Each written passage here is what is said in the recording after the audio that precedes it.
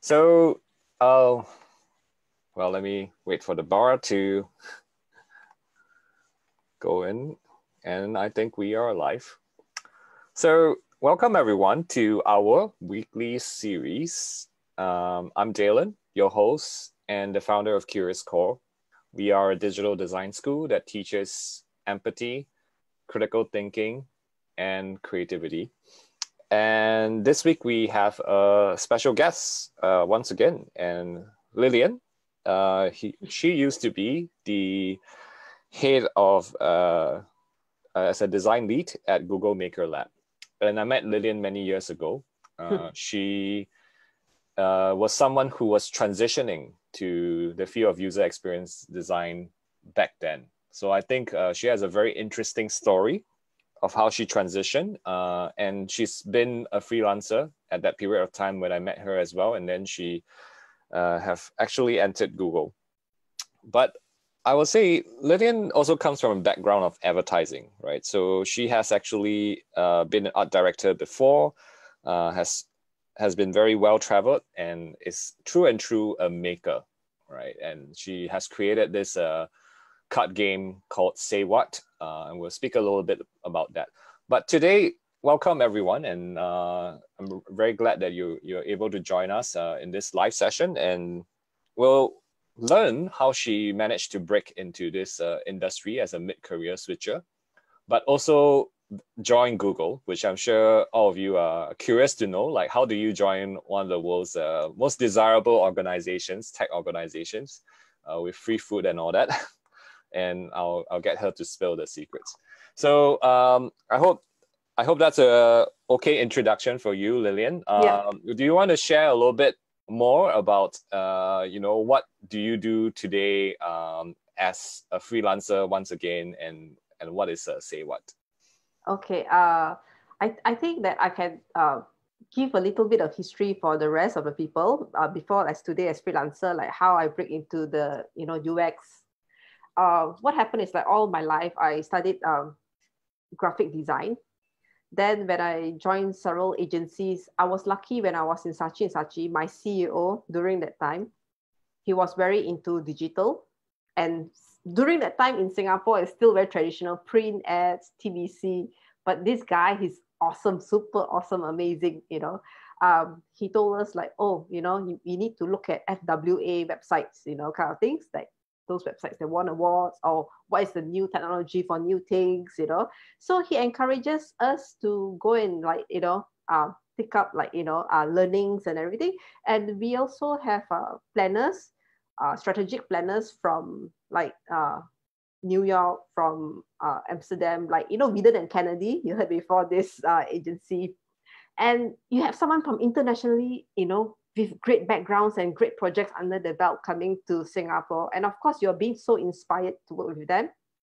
And from there, it's like, you know, being curious, you see, you wanted to find out more. Even though my job is a graphic designer or art director during that time, I wanted to know more about strategy, you see, not just to learn like, you know, okay, I'm design or I'm going to make something beautiful. I'm going to do that. I'm not going to learn about like, you know, the business of uh, the client, the the concept behind each brand, everything. So that is the one that we all keep on building every year.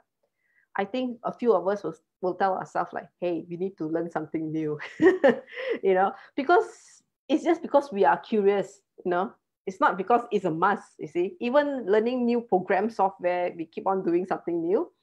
And after a while, uh, when I joined BBDO Singapore, I was super lucky because I was working um, with regional brands so working with regional brands is uh, in a way like you get to travel a lot. You get to work on big brands and and, and, and brands like P&G, like Guinness, like you know, Fonterra, and you get to travel to do brand hack. So that was great because not just understanding about the market of Singapore, when you go to different country to do brand hack, you will understand each of the market is so different everyone from the US will think that oh Asians they are all the same China Japan Korea Singapore. But it's different. Even Indonesia is next to Singapore or Malaysia the market the way of like you know speaking to one another you know is totally different. So that is also part of it. Do you think it's UX I think so too. It's psychology you see? So after my trip and travel to Berlin and Amsterdam, meeting so many people, you know, with my uh, good friend, we traveled there, like a chef who's a photographer, you know, an artist who's actually like, you know, used to be, you know, one of the, you know, best kind of like athlete, you know. A lot of people have double things like, you know, a real daytime job and a passion. So of course, that inspired me a lot that I came back and with a good job also, I'm thinking to myself like, hmm, what should I do next with my life, you know? And not to say my life was in the midlife crisis, nothing at all. It was the perfect life. so during that time, when I traveled to Berlin, I think so about 10 or 11 years ago, it was, I heard this term called UX design and mm. ideal human-centered design, you know, ideal.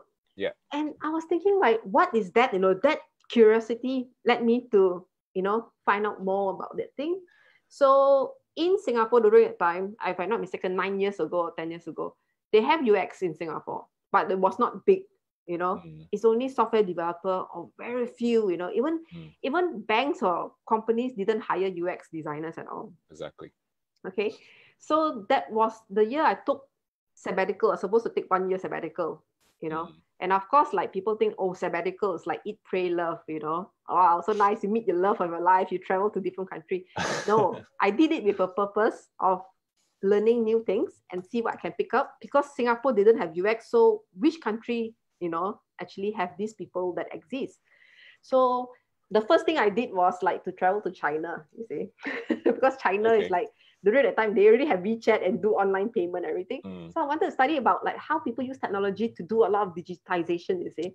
Mm. And from there, it's like you know countries like Sweden, like you know Berlin, where you know they have UX designers and UI designers and customer service experience things which I have not heard before at all. Yeah. Mm. So during that time, I met you, Daylon. You know, halfway through London because I wanted to look for you know any hackathon I can join for the tech, you know, yeah. industry yeah, in the I old remember. street where Farringdon, yeah. Old Street, and Shoreditch is famous for all this, you know. Yeah, I remember I was working in tech then as a product manager with yes. Aviva, and then yeah, because we have a London headquarter office, so yeah, it was good to meet a fellow Singaporean. Yeah, yeah. And you brought in Matt as well, Matt Redby. Remember? Yeah, yeah I remember? Matt. Yes. if you're watching this.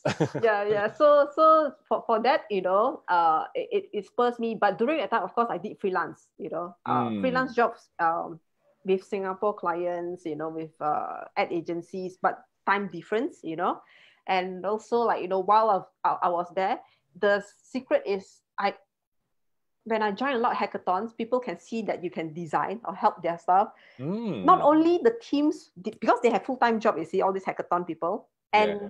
also those people who organize these hackathons, they mm. are like, you know, they have their own business and their own startups. They ask me like, yeah. hey, would you like to design for us? yeah.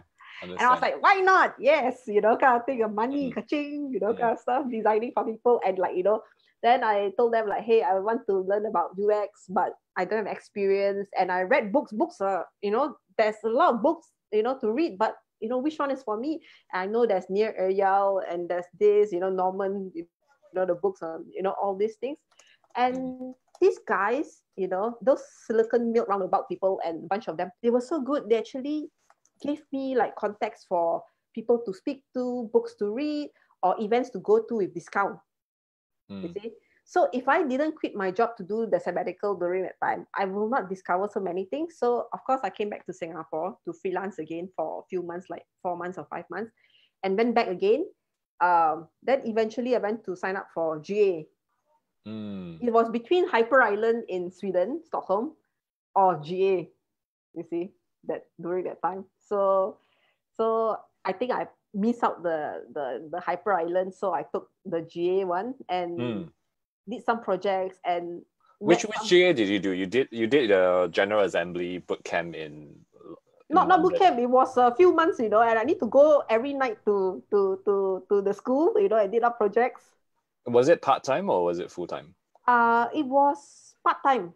Oh, oh wow! So back then the program, okay, that that's many many years ago. So it was so you did it for a few months okay few months yes and we have like you know every small projects and after that the final big project you know kind of thing you have some group projects you know that you need yeah. to go and interview you know yeah yeah so yeah. so of course the first time you know when when when you going there like you know every time people think that oh you know asians are very quiet but turned out to be i'm the noisiest asian there in the class and made very good friends you know and a lot of them like you know some of them they work for you know guardian you know the newspaper mm. And of course they wanted to do ux so you were you were you were in london Yes, you, yes. Were, you were in London and you were spending months over there. You were yes. trying to break into the industry. And, yes, and actually, going... at that time, in London, UX was already pretty matured.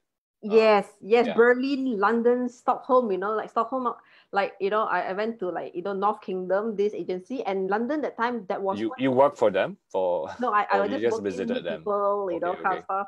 And wow. in London that time, I remember this agency which I met the people and I said, wow, this is so inspiring. ustwo, have you? Yeah, ustwo. Yeah, they. Yes, they built, yes, at the tea house uh, in the Shoreditch, you know, kind of thing. Yeah. And I was so lucky that one of my lecturer was actually working in ustwo. Wow. Yeah, you know, she was doing the fintech, you know. So she Holy told me cow. like if you know that which industry pays you the most is actually fintech. fintech uh, for UX design, right? You're saying? Yes, yes, yeah, that is yeah. the, the that is true. That is you know, true. Everyone needs to use it. You know, it's something that people need to use it. So I said, good. Then she said that yes, uh, if you are into game, UX also is good because people will still play game even during pandemic, you see. exactly, that's what happens. yeah, yeah, yeah. So it's it's a big thing. So if you are game, fintech, things. So like so just to kind of like you know just slow slow things down a little bit. Um, what I'm picking up from what you you just shared is you know maintaining this attitude of curiosity of learning. Yes, yes. And yes. then the fact that you uh, you you gave time to yourself to just go learn, right? Go yes. self develop yourself, yes. Um, and also learn from some of the best people. Yes, yes. But how how did you break into the industry? Like, who gave you your first UX gig? Like, I, oh, yeah. okay. Uh, the freelance UX gig. Okay, this I started freelance before full time. Okay. Yeah. So it was in London, and all these guys they they are in the startups or they have their own mm. tech company, and yeah. they asked me to do design for them and I said that hey, I want to learn something. Because you were hanging around around hackathons, so you were just yes. hanging out with all the tech people, and then yes, they're like, yes. "Oh, hey, can you just come and help me? Like, come, come, like, help me out." Okay. Yes, cool. yes, but but even see, even if you're Asian, even if you're a minority, they still. See, but still but okay. but I realized, you see, uh, I realized that when I traveled to countries like you know in Europe and all these countries, it's so different from here that in, mm. in here sometimes you see that oh they are foreigners or they are what but in mm. there there's no such thing as whether where are you from it's just yeah that's true for london what what yeah, you are so in, mm. interesting mm. is you yourself as an individual you know mm-hmm. i don't feel any like discrimination none at all you see when mm. i was there it's like i've met people from iran people from nigeria everything like in, including like sweden stockholm everything you know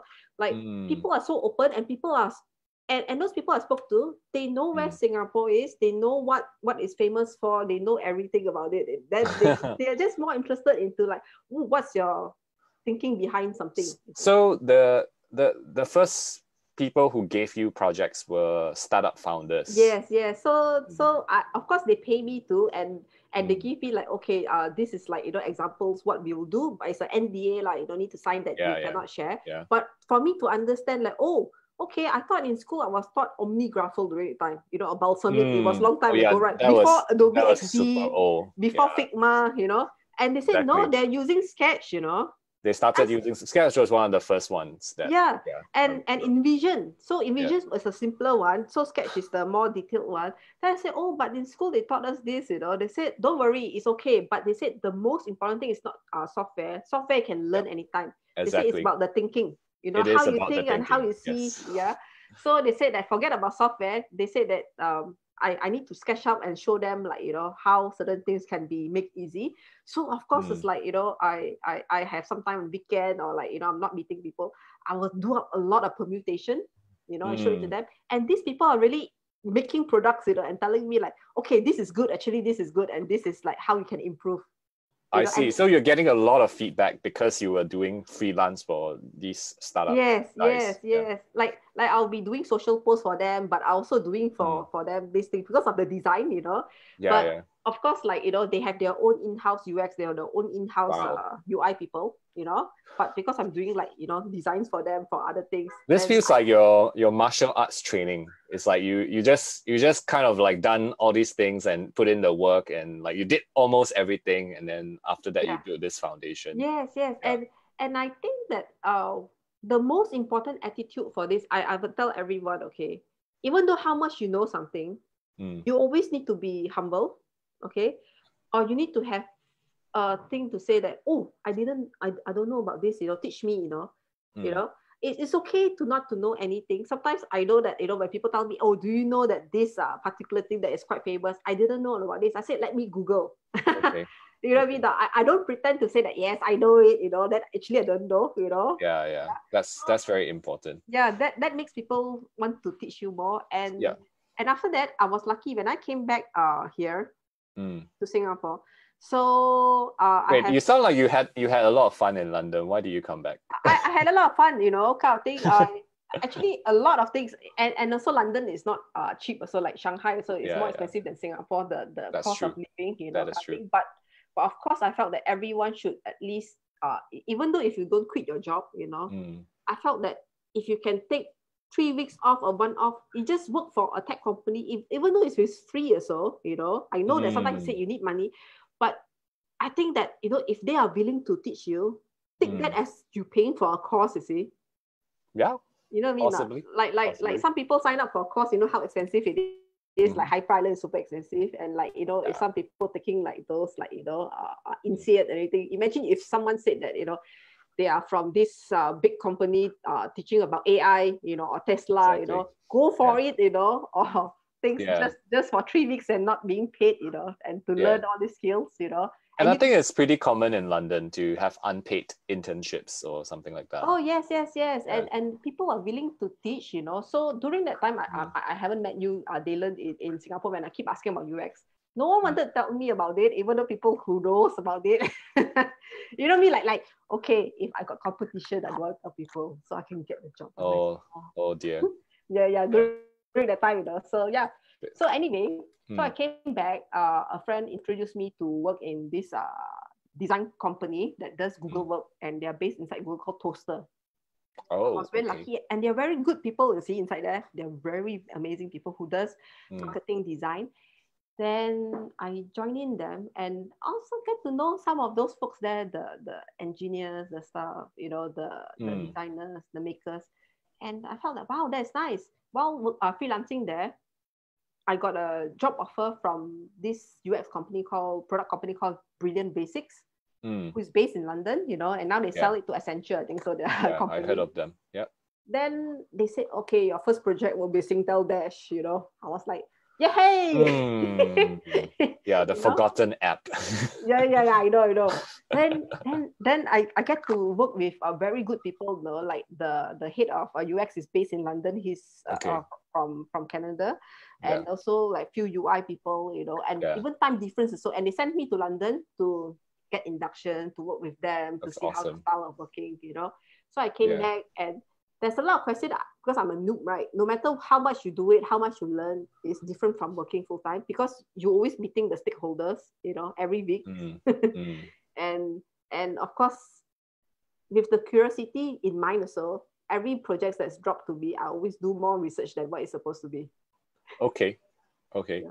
So that's and that eventually ended up as a gig in Google. Like how how did how did the Google Yeah, like, I know was, you there was yeah, someone that I worked with in Yeah. uh in Toaster. Then he went to like you know set up this uh, division in Maker Lab, you know, kind of stuff in, in Google. So then he asked like, hey, do you want to join? You know, so because he worked with me before, you know. yeah. So that's why I, always tell everyone it's like, you know, even if freelance or full time or anything, Mm, do not burn bridges or do not be an asshole.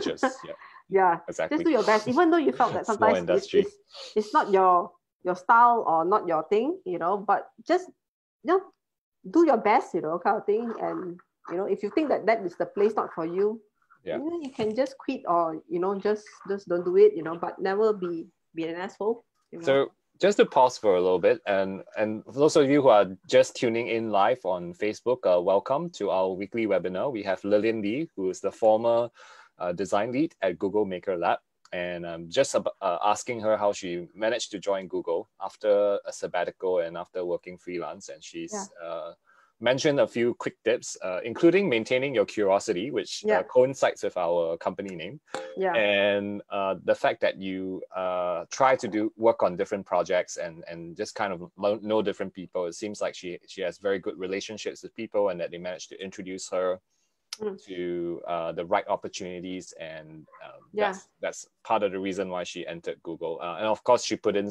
puts in a lot of uh, hard work as well. Uh, Yeah. and, and hard knocks, Yeah, I guess, and- along the way. Yep.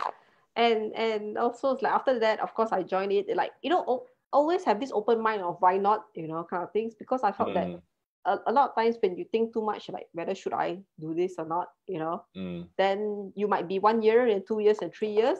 And I think about like during that time way before, so I keep on like you know, uh, coaxing my friends to to leave the traditional media and try yeah something. so this is a very important point which i'd like to maybe ask you from a psychological perspective because Mm. many people in the audience right we have a couple of people in the audience right now who's trying to break into the ux design industry Yeah. and you know for you I, I remember i recall you've been advertising for a while right Yeah. you're, you're, Yeah. you're considered very experienced already in advertising so for you to give all that up and Mm. and then like try something totally new Yep. how, how did that felt Uh, I will tell you one thing. When I did that, quit my comfy job, and during that time, I was doing. You know, my boss is great. My work work workmate are great. You know, my Mm. projects are great, and it was quite daunting. And like you know, I told myself I haven't done freelance in my life before. During before that, prior to that, Holy cow. All right. Yeah. and that was my first time writing invoices.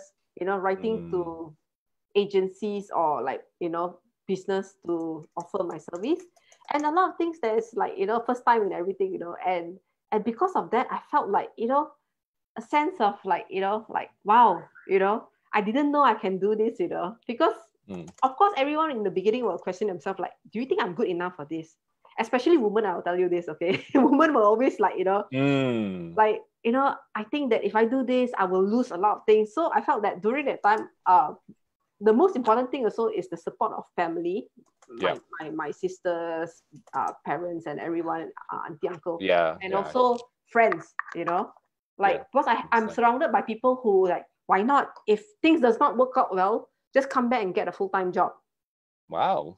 Okay. That's Yeah. good.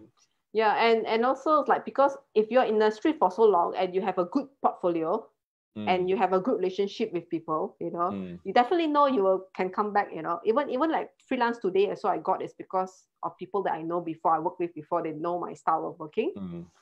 so that is how is it so when i did, did that i felt that of course it, i would be lying if i said that oh it's so easy i just jump to it and do it no it was daunting it, it was like from the day of like you know signing up for a course in ux to you know do it, you know be, becoming the good student that you paid for every single cent from my own pocket not from skillsfuture anything you know and staying there paying the rent and everything you know Yeah, that was an expensive one. Yeah. yeah you, you need to know that you know and and buying food from you know sainsbury I yeah, I, I I can definitely relate to that because I studied UX in New York and I Yeah. actually paid for my own course, like stay in New York, paid Yeah. for the hotel. And this was yes. like many, many years ago. And it's like UX was like totally unknown. Yeah. Uh, then I was like just trying to understand how it works. Yeah. so I, Yes, I can. I can definitely relate to your experience. Yes, yes. So, but at the end of the day, I felt that, you know, when you look back now, you felt that, wow, actually, I did not regret it, you know, of doing that, you see, because I felt that it opens me to so much opportunity. And and during that time, after Brilliant Basics, I came to work with like Maker Lab Google. So, Yeah. you know, uh, and during that time also, I learned a lot of new things that I, I didn't think that I would be doing. I, I thought I would be doing UX Mm. for a website. What does what does Google Maker Lab do? Like, Okay, uh, I, they- I'm I'm also quite interested Oh, know. so they are like under the marketing arm, you know, Okay. to help uh doing like you know uh you know sometimes internally we want to do something for marketing you know Mm, and the you know, product marketing team. yeah Okay. sometimes there's agencies doing it sometimes internally you do it you know sometimes certain things you want to have a, a brand hack or hack product hackathon you know so you Mm. know be organizing it and like also like you know working with uh, the product team to how to come up with a campaign or something for people so that is a little bit in advertising but for my side it's also also during the time to learn how to like for websites like thing with google you know like Right. So you did touch a bit of the product, not the core products, but yes no the- no no not yeah. the maps everything no no Yeah, but that is uh, another ux team is it yeah, uh, that's in San Francisco. I remember. yeah yeah and but also now they it- have yeah now they have a pro- product teams in Singapore. Yeah. yes yes and and they're also doing like for apps Mm. for india everything so Hmm. what happened is like I was lucky during that time that um, I was given projects uh, by the pro- product comms team to work Mm. on like social media. I, I told them, no, social media is something that I only post out on my Instagram what I ate for lunch. or what the things they said, do you want to work on this project, you know, for Google Solitaire? Then I was like, okay, why not? Um, what, what is that about? Send it uh, a, a package, you know. It's like the journey from, you know, creating the product, sending it to influencers, from unboxing to talking about it to sharing on it. that is UX itself, isn't it? Yes, yes. Yeah. How how how the first thing you make it, how you send it, how someone open it, you know, the feeling of looking at The something. unboxing experience. Yes, yes. And also the, you know, like Google won't be selling like, okay, hi, look at our Google Maps today. No, this is not, you know. So Yeah, they want experiences. So Hmm. I did that, you know, then with a couple of other people. Then eventually there are more projects interesting, like Get Fit with Google, you know, like uh, Mhm. they, they have like, you know, mindfulness into the app, into the the, the, the Google Pixel itself. So they wanted people to like, you know, how to Mm. know about all So a these lot of content pieces for yes content pieces so i learn Mm. about that learn about like you know um influencers and youtubers and which one is right for which kind of like product you know kind of thing you, you cannot get that simply any something harry to do something Yeah. the right uh target audience the right people So all these things i like i Mm. have not done before you know in my life so what what was it like to work for Google? I mean, you you've been freelancing, you've been working for advertising agencies yeah yeah almost your entire career. Like how how did it feel like to work in a tech company? i i think work I, I sometimes i felt like wow everyone is so smart you know i felt stupid because of feeling stupid is the best thing well, you're not the smartest person in the room. That that's uh, something right. Yeah, yeah, Yeah. It's, it's good to be feeling the most stupid person. Sometimes I felt so stupid that I felt like, oh, did I do something wrong? Or like things like that. So, but I have very good workmates and uh, seniors and everyone that uh, who's very patient and very good in guiding, you know. Mm, And I felt that there are many times when I sometimes I did mistakes, you see. But of course, I Mm. don't cover my mistake as usual because I'm a very straightforward person. I tell people, oh, so sorry, or sorry, I forgot about the meeting, you know, that, that actually happened to me recently. So all right. and I said, shit, you know, kind of thing. I, I won't say that, oh, because my laptop is not working or because I had something. Yeah. Then like, I forgot. I totally forgot. It's my fault. It's my problem. Okay. Okay. yeah. Fair So, but enough. at the end of the day, I felt that uh, people always talk about free, free food and stuff, but I will tell you the truth. It's about working on projects that is so meaningful. You know? Mm, I felt that is important. Not to say I'm Mother Teresa or like, you know, Dalai Lama, but I felt that, you know, you felt that you're doing something that actually helps someone, you know? mm, or I felt that my my portfolio I can add something there also that I felt that Mm. wow and there's a lot of times I had challenges where I felt that in the beginning it's like what are you sure you want me to do that in this particular time do I think I can do it but because of the situation I need to find a, a solution for every problem being resourceful yeah. I think I learned something. You know? So every project, I always have something new to learn, and I tell myself, "Wow, I didn't know I can do this." You know, production too. You know, like I I, I never done logistic before in my life. Okay, who does logistic? Is it to coordinate logistics so that everything can be sent to different country and reach to influencer? I did Yeah. that, and that was a good opportunity because some company were saying that okay, I will just write someone who has done before to do it, but no, they they let me do it. You see, someone who has not done it before. So the oh right. So you even handled the op- operations management. Yes, yes. And, and I one time I asked, oh, where can, can I learn about project management, you know? Oh, and they just let you go. go. Yeah, yeah, they gave me something, you know, and of course someone is overlooking it, you know, and I was like, oh my God, you know, I'm doing all this or like speaking to different countries. So there's a lot of things I felt that not just working in in in Maker Lab Google or like you know any big name company like you know Mm. uh, BBDO or anything, I felt that the most important thing I learned when I look back is about the willingness to say why not. Mm. You know, if people throw me in the deep shit like you know gutter or anything, I will always say, hmm, maybe that's a good thing to learn from this. You know, Yeah. gutter. Yeah, that's that's always a pony in the pile. Yes, yes. I, I, yeah. I won't be sitting down there. Yeah, this one uh, so bad. No, then every day binging about the same thing. But I say that okay, I'll make the best of it. If you throw me in the longkang, I'll make the best, brilliant longkang, no, the most shiniest longkang, you know, that you Okay. can find. That's that's amazing. So thanks for sharing on your Google journey and how it is. Yeah. Uh, now now I see you're back, right? So you're back in into being a freelancer, and you're you're now you're you're now in this COVID situation, like all of us are. Um, how how has it been? You know, trying to uh, you know freelance in this kind of economy climate and and you i also understand you run a, a small business now like trying to to sell the cards uh so yeah you can share a little bit what, what are your thoughts right now Okay. Uh, I, I, I won't try. I, I won't be trying to paint a very like you know picture like you know wow Mm. you know it's okay. I still have freelance job. It's COVID nineteen. You know kind of thing. I will tell you, there's a lot of people doesn't have any job, and if you are busy or if you have something during now, count yourself super lucky. Okay, super super lucky. If you can order a Grab food also with the extra five dollars charged to it, you are super rich. Okay, you know what I mean okay, anyone got food panda kind of things. yeah Um, for me, when uh in you see in the beginning of the year, like and the last year, everything was super high for me. Like uh, I traveled to Korea because of an illustration uh festival for Say What to Mm. promote Say What cards. Then this year in April, supposed to go to Shanghai for Shanghai Art Book Fair. Then Mm, Jakarta for another market, you know, kind of thing Mm, to to mm. expand, you know, say what rather than just in Singapore. Because last year, during last year, we managed to expand to a lot of retail outlets in Malaysia and also in Indonesia.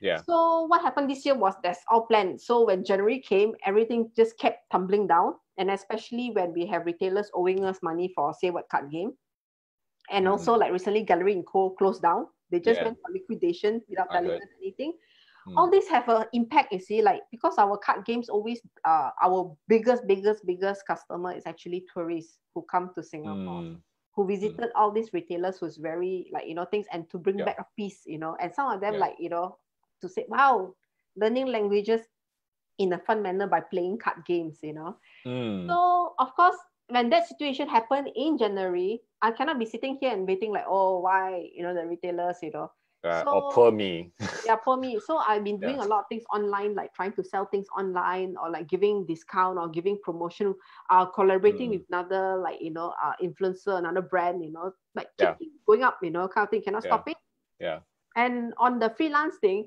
of course like you know as usual you know you need money to live to survive everything the survival instinct kick in so yeah.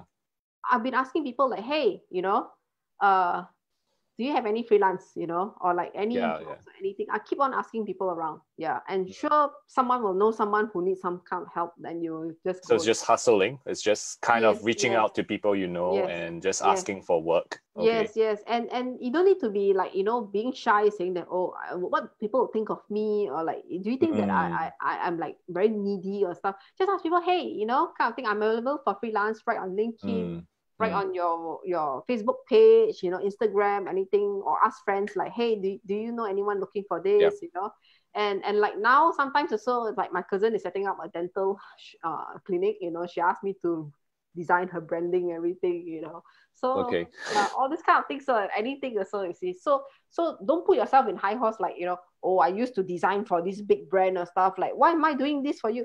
No, you know, Mm. and, and staying don't- humble stay Yeah. humble any brand, no, including like you know lap chong brand So if you want, you know the. Lapcheong Just do it. Who knows? Maybe you can do a very nice lap chong branding, like you know the Levy brothers. They did the Otta. yeah yeah yeah So nice, right? You know, who knows? Lap chong can be fashionable. So yeah just do You it. Yeah, know. just take it. Yeah. So yeah, so I, I guess it's also hit you hard. So your I, I think your income has been affected as well. Yeah, and, of course. and from what you mentioned. So any any tips or advice because we have some freelance uh, designers over here and some Mm. people also not being able to get a job because of the the current situation there's not Mm. not enough jobs Mm, mm. um, so yeah what what what how do you stay strong right how do you stay positive Yes. Uh. Okay. First of all, surround yourself with people again, the right people. Okay. Mm. Uh, the right people, not to say the people who give you jobs, the people who how they think and how they like you know resilient. You know. Because Mm, think about it, you know, we are very lucky compared to our grandparents who went to war, went to pandemics, went to everything. You know, Mm, went to yes. flood, went to like you know what Yeah. kind of things. You whatever lah. Yeah, Yeah. so ours is actually is like we still have a roof on top, you know, there's no one shooting us from the back or stuff like that. that's true yeah it's not life and death situation yes, yeah. yes, you know. And for freelancers and any designers, my thing is like there's a lot of platforms like, you know, uh like in Singapore, even though there's like freelance network, you know, like Facebook, and there's Mm. I think popping up a lot like chance upon dot co if you can check it out, you know Mm, where Mm. they they link you with the right clients or uh, product design company, you know. Mm. So co. yeah Or- i will put it in the webinar yeah yeah, or there's like you know, uh, sometimes there's like uh people from Super Beast, you know, kind of thing. Mm. Uh, they they will connect you with uh, clients directly, so and they'll Mm. be the middle person, so they can work with them. And of course, there are like you know, uh, PM or traffics of different ad agencies where you can contact them, you know, kind of stuff. You just ask them like, hey, can you give me the contact of this traffic? Can you give me a contact of this PM? Can you just write if they don't you reply say you? pm okay. is like the project manager yes. If they don't Mm. reply you, maybe they're too busy. Mm. Don't, don't sit there and think that something is wrong with you or like you know, and just sitting down there. You just need to continue moving. So know? I think the, the the difference is over here. Like you have to hustle more. You have to like do more sales in some yes ways. yes Yeah. yes and, and also like you know of course before you do this make sure you have a good portfolio to put in like you know Mm. people ask you like hey uh, can you show me your work and you scramble to find all your things or students work you know it's, it's Yeah, not you know at, at least you know you have a good one to show them and you know being confident of what kind of project you can do you know and Mm. also don't lie you know people say that oh can you do ui you say yes i can do ux ui but actually you can't you just can do design you know and you download things from shutterstock as the ui you thought the buttons can do it but no don't do Okay. that okay after Yeah. a while Just be honest. Okay. about you the words will travel very fast you see yeah Mm. so Okay. so i think like not not to say just hustle just being like hungry you know and Mm. and like you know to get as much as possible ask around just ask Okay.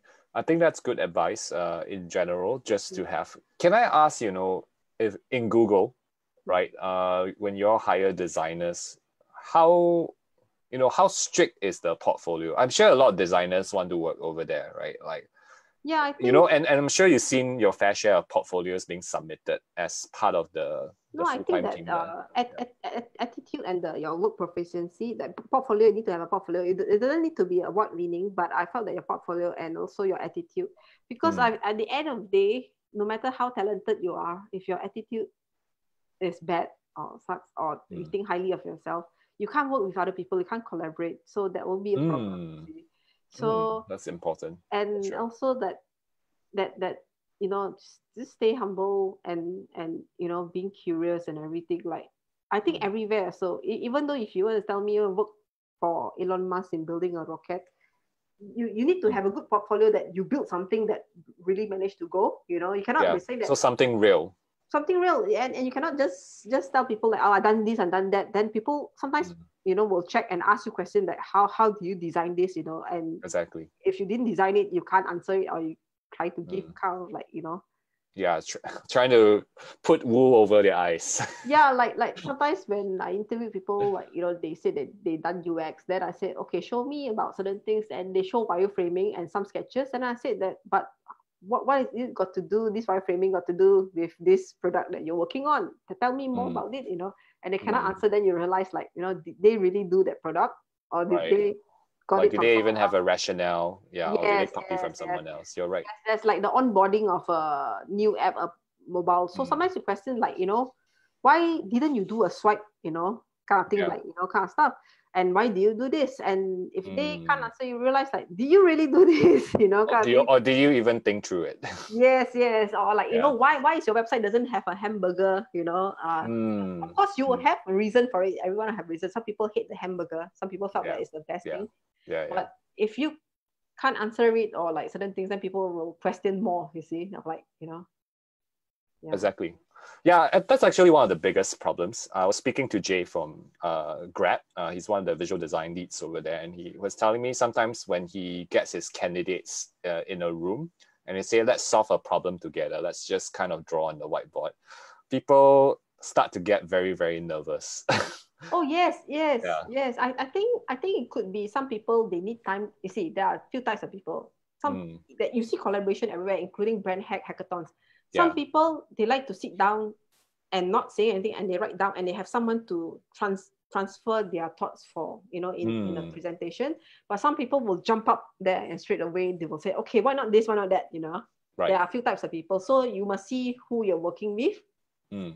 yeah cool so what kind of designer are you then i think that until now you know i'm thinking like you know when i reach 50 years old whether should I do design or should I do farming, you see. So you oh, can think, okay. I'm, I'm thinking already know what I'm going to do 50 years old, what am I going to do when I'm 65 years old, what am I going to do? Because I don't want to be the old fella who is sitting on the things like, you know, mm, okay, enjoying. They said retirement is just like watching TV. I don't want, no. I want to die when I'm working, you see.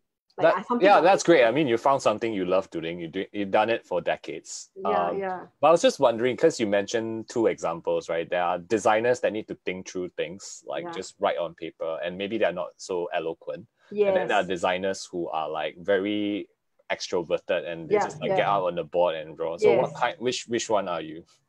I think I'm in between two of them. You see. Okay, so ambivert. Yeah, Every, everyone thinks that I'm extrovert, like you know my family thinks I'm an extrovert. Even though I do the, all the tests, so ENTJ, everything, but I felt mm. that I like to be alone. So that mm. is so different, you see. Okay. Like, so Lilian, we have our first question from the yeah. Zoom uh, crowd. Uh, Dick from the audience asked, uh, thank you. And he asked that, you know, understanding that we should not let our ego get in the way of potential opportunities mm. and that we have to consider our career. So how do, how can we tell whether a project how, how can we differentiate between the good and bad in random Lapcheong projects? How do, how do you okay. tell whether this project is worth doing? I okay, after a lot of experience doing it, you really know that, you know, whether someone wanted to pull a quick one, like they wanted to mm. very cheap, you know, it's yeah. like Fiverr price, you know. But yeah. if you understand your price, you know, your, your worth and you can do very good design and someone say, oh, can you give me this one? But someone giving this cheap one, you know, kind of stuff so you need to question yourself because if you were to give in to you know cheap requests, you you will be marketed as a cheap you know, a cheap designer, cheap and you'll be attracting more cheap clients. Yes, and and also yeah. like you know your industry also everyone will thinking like oh my god this is a cheap designer we should outcast this person you see you know what oh I mean dear. because you will okay. spoil the whole market you know. Mm. I must say that there are Lapcheong companies that actually are good companies because like like example, my cousin, I call her Lapcheong Company, her dental clinic, right? because it's not a big corporation, no, not not Gleneagles. Uh, yeah, you know? yeah, yeah, yeah.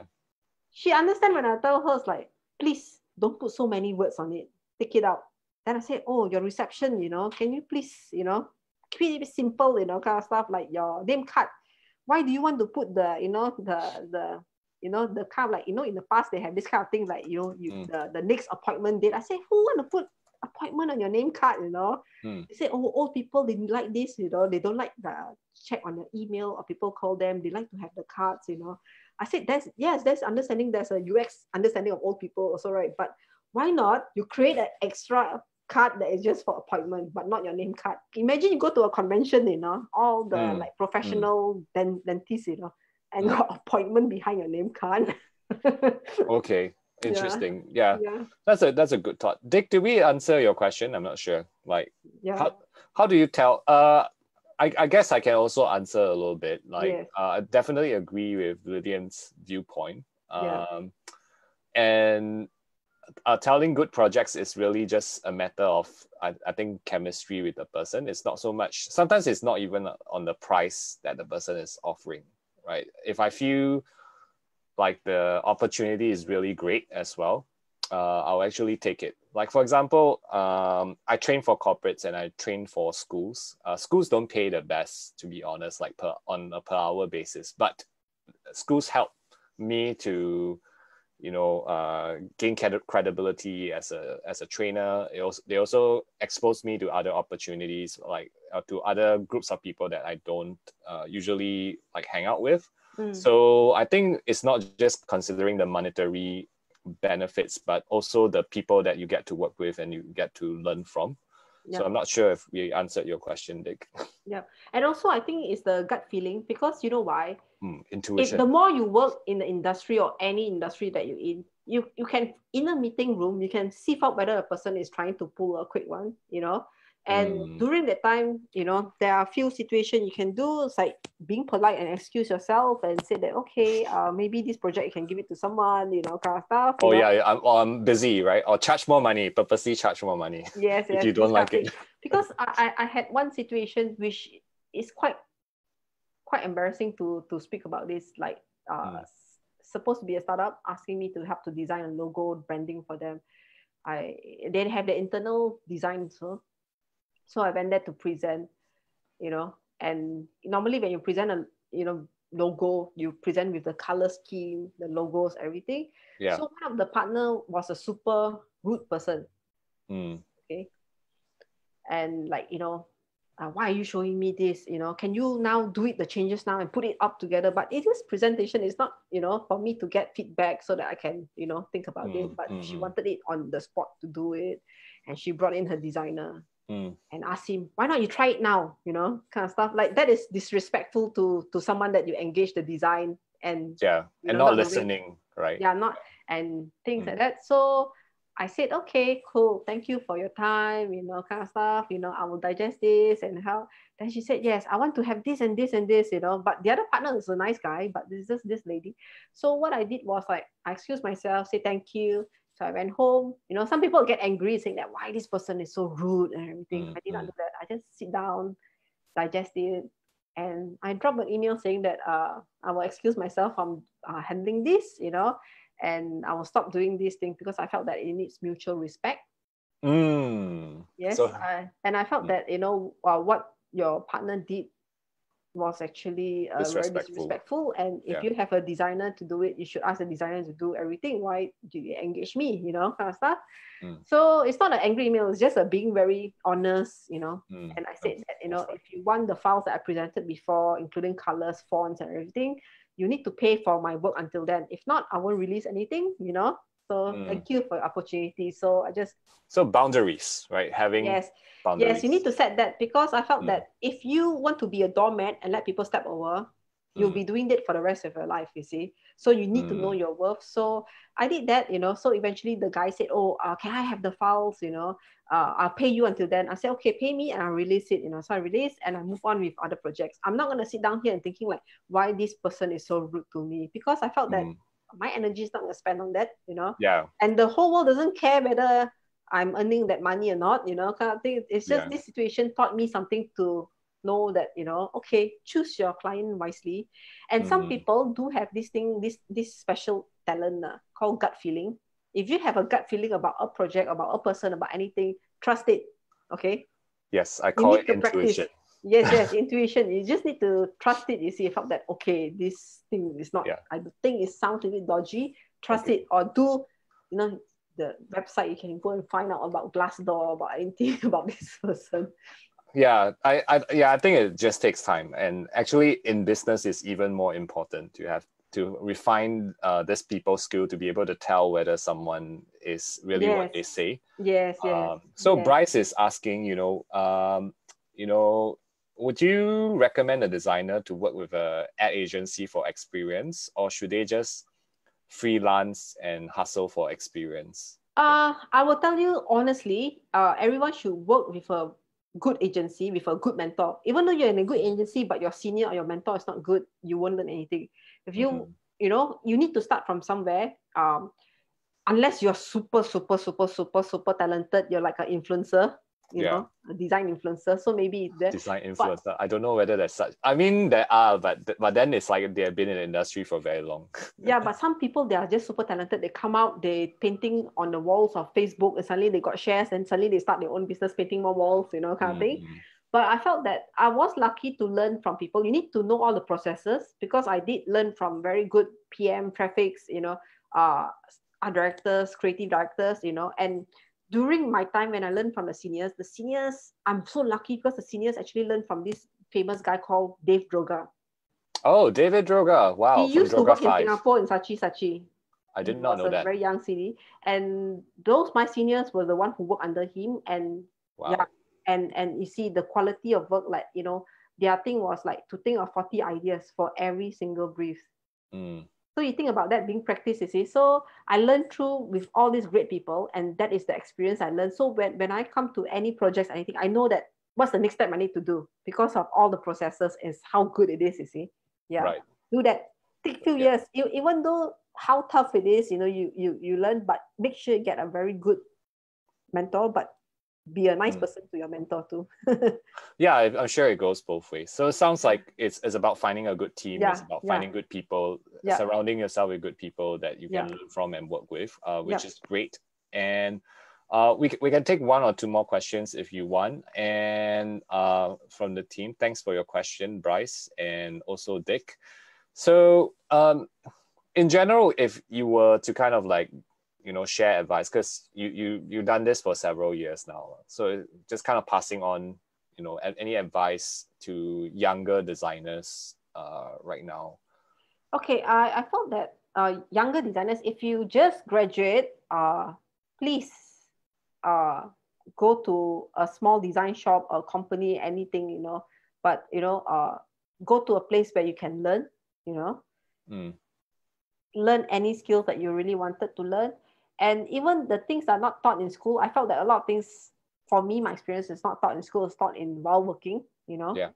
And also, uh, young designers, please read a lot because it's not just about design, it's about pop culture, general knowledge, you know. When, when you meet someone, you see, at an event, you know, they are not just going to talk about like, hey, do you know that kerning is like that or the leading, you know, you talk about like, hey, what, what, what do you think about the, the, the situation now in Africa, you know, where the, China is building Okay, the so things, know, well-read. things about happening in real life, you see, or about about music, you want to talk about, you know, kind of stuff like what's the latest kind of like, you know, BTS. Even though I'm not a BTS fan, okay I, okay I, I learn about who they are, what what kind of songs, and you know how far they come. You know things like that. You see, so even when you're doing designs also, Yeah.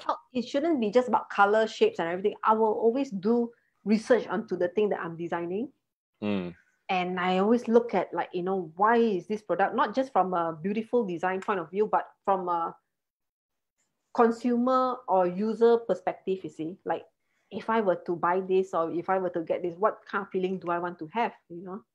mm. right so in general i think what i hear you say is that uh, to be well read Yes. and to yeah sorry what would what were the other one or two things i think i missed out yeah, well read, you know, expose yourself to things that Mm. even though you are not interested in, like, you know, like, okay, Mm, like example, you know, uh, maybe I'm not interest, in, in, interested in like, you know, embalmment, okay? Okay But I will read about embalmment if there's an article, you know, to know like, wow, this is Mm. interesting, you know, kind of thing. Mm. So that next time if you got a job about something like, you know, embalmment or something that is, you know, related to some certain things, then you can have like, yes, I read from this article, it says something like that, you know. yeah i have uh, two more questions actually Yeah. uh, so one from bryce uh, bryce Yeah. is asking what if you look for your mentor as a freelancer can you can you actually There's actually no mentor, no? Yeah I can tell you it's like freelancers work alone people, right people who wants to freelancers, yeah. yeah. But but of course there- there's no mentor. It's it's just like if, if you if you want to start your career as a freelancer, I think my advice is no. Just take Mm. a full time first. Mm. Equip yourself with all the experience, you know, then before Mm. before you become freelancer. So if, when you become freelancer after all this experience, there's no mentor. Then what happened is that I'll do is like I ask friends who are freelancers, like, hey, Mm. how do you do this?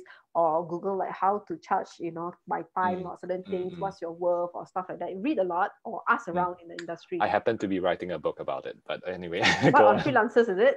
Uh, on how to run a small medium business as Yeah. a creative professional Yeah, yeah, I, I tell you, yeah, because because sometimes you're creative, you have a grandeur kind of like you know imagination, but when it comes to money and charging, it's a different thing. So you need a, a, a very you know business minded like you don't overspend, you know, Yeah. what you can earn. for sure. Yeah. I, I think that's good advice. Uh, yeah, yeah, uh, Bryce, I actually agree with Lilian. Um, some of the best people I work with are not freelancers. It Yeah. just so happened, uh, and actually they are in all these big organizations because the organizations provide stability and and that um, that they also just want to work with a great people and great team. So Yeah. that's why they are there, and they're really, really very good people. Um, yeah, yeah, yeah. yeah. So Gladys is saying, if I may add, when you work with an established agency, you not only learn skills and knowledge that directly impacts your work, but you also gain people skills as well, which Yes, yes, it's, it's true Go a long because uh, I will tell you this honest thing, okay? mm, It's not just about work and design. You need to manage people expectation. mm, And people always ask me like, hey, how is this new company, a new agency? I, I'll tell one thing, is a being honest, like everywhere there's politics. Yeah. Okay. But you just need to focus on what you're good at and do. And if you can avoid the daggers, you know, like like this, you know. exactly. And don't Exactly. don't don't involve yourself into like, you know, uh, you know, kepochi stuff, like, you know what I'm saying? Like, you know, Just do your work. Yeah. gossips like, hey, you Yeah. know, you know, kind of stuff. If you spend so much time doing that, I think you can create a good campaign, no? or create a book by then. Okay, so actually this leads to my last question for you. I hope I, I'll be answered your question, Bryce. So um because you do side hustles, even when you were working for Google, you're doing side hustles. I want to understand the importance of side hustle because you, you sound very passionate. Like you've been in this industry for very long, but you're still like so passionate about the industry. Okay, it's, it's not a side hustle. It's just like, you know, sometimes you, you know, I, I did that say what is because from the IDEO human centered design it was a brief that year Mm. to do Mm. something for the community. So of course few few things like, you know, food wastage, you know, uh, Mm. helping the elderly, you know. Yeah. Uh, then about like, you know, uh, recycling products, you know, means But like what's the importance of doing all these things? yeah, Yeah. the the thing I can tell you during that time is like, you know, work is work, you know. But Mhm. what do you have other hobbies? Don't tell me it's like going to cafe and, and drink coffee. Because Mm. there are people who took pictures of each cafe they do, they become cafe influencer, you know. Then it become a hobby, become passion and become a job, you see, kind of thing. Yeah. So that that one when I did say what so because I really believe in in languages, learning languages in a fun manner, you Yeah. know. And I thought that you know just taking my savings and and make it into into uh, like you know a project you know and maybe sell it you know in in markets and they didn't know that you know people will really buy it until retailers was contacting uh, us to place it into their their retail retail market and like you know uh, every month there's sales you know so i felt that wow there's something going on with this uh, cantonese card game then we created hokkien singlish you know and other languages and collaborated with illustrators local illustrators and also like you know language teacher like a korean language teacher so i felt that during during that side hustle uh, i don't call it side hustle it's more of a passion project you know that Yeah, passion having in the project. business Mm.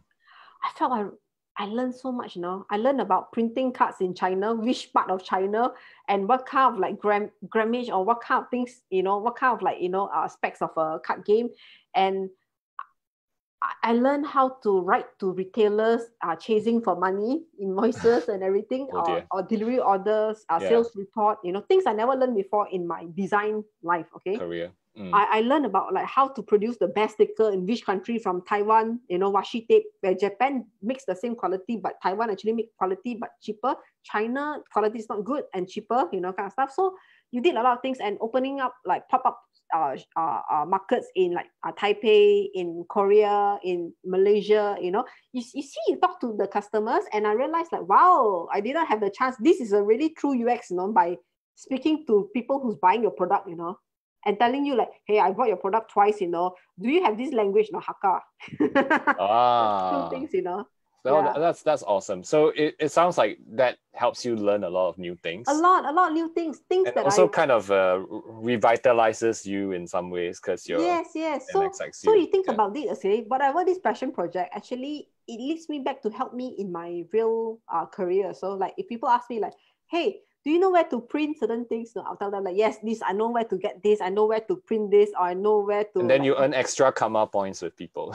Yes, yes. You become you Yeah. are the walking black book. You see, or people ask you like, "Hey, Yeah. uh, I heard that you know, uh, sending logistic to countries. Can you Mm. tell me how is it? Okay, India is the toughest to send. You thought that Japan it Mm. is, you know, and which Mm. country will custom will stop your stuff and food and like medicine you cannot send through here. So because of all this experience, you know, you're doing with logistic and your products, right? You know, Yeah. And also like you know having a mini warehouse to put my stuff, uh, drop shipping and stuff like that. You know, so these kind of things that drop shipping, what is that? No, in the beginning, if I don't do this, I won't know at yeah, all. exactly. So, So- you learn all this, yeah. Well, Lilian, uh, we're kind of running out of time. Uh, Mm. It's really been a pleasure speaking to you and, and asking you questions. I hope uh, all of you managed to ask your questions. Um, Mm-mm. if I could get your a favor from everyone who's in the Zoom, if you can just take some a couple of minutes to fill in the feedback survey for this evening, because we are all UX practitioners. I'm collecting feedback to improve the webinar as well. Mm. Um, and Lilian, if you want to stay for a couple of minutes, feel free to. I'm going to cover what we're uh, some of our events next week. Okay. Yeah, yeah. Uh, before before we all finish, can I tell Mm. you one Of thing? Of course. Yes, please. uh, I'm not sure. Some some of you might not believe it, but uh, if you all can, you know, whether it's mindfulness or meditation, do something about that because I felt that uh, whether COVID nineteen is not here, so sometimes you have problems at work, sometimes with people. Take some time, like five minutes, to meditate, or if you don't call it meditate, call it like don't do anything, not thinking about anything, which is the hardest. Yeah. You see, a pause or just breathe, or you can hide in the toilet, you know, in the, on the toilet bowl sitting, just do nothing at all, just Mm. blank, you know, empty. You know, it helps a lot actually. Yeah. Awesome. Yeah, uh, definitely encourage uh, spending time to look inside and look inward. Uh, that's that's awesome advice, Lilian. Mm. Uh, was you are one of the most positive, creative person I have met, Lilian.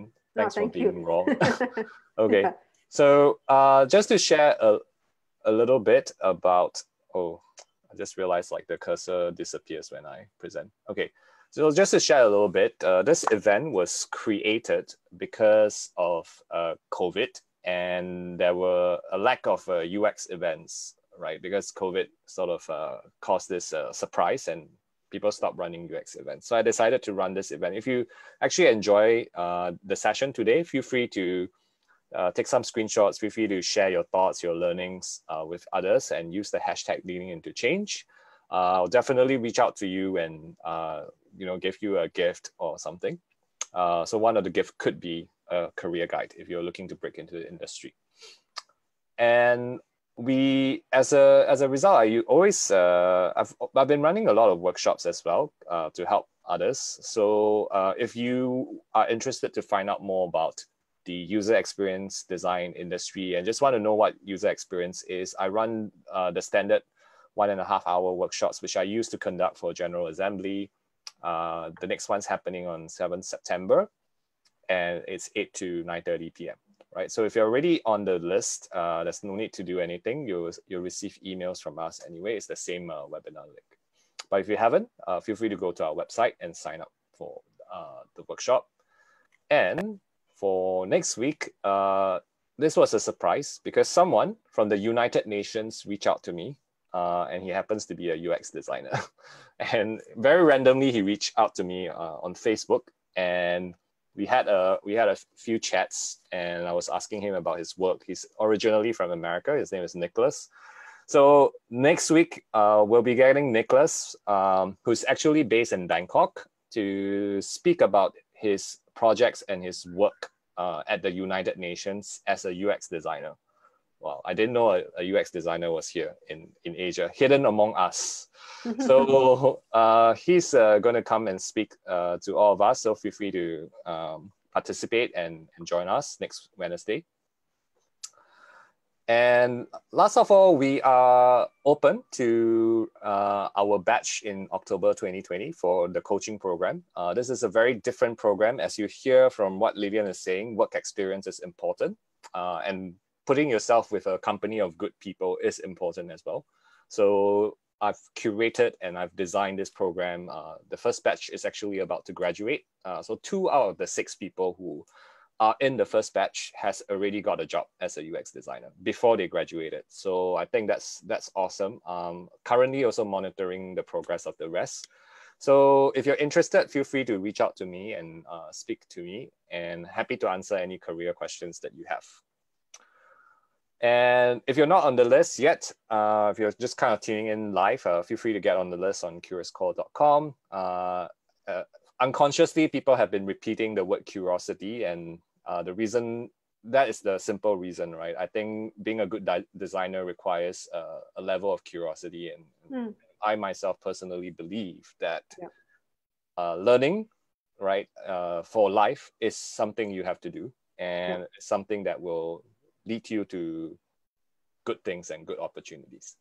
So uh, for those of you who are in the Zoom chat, if you want to stay around for a couple of minutes, hang out with Lilian, feel free to do so. But I'm going to stop the live share right now. So thank you for those who have been tuning in on Facebook. Thank you for participating. Right, and I'm going to end the uh, live sharing. and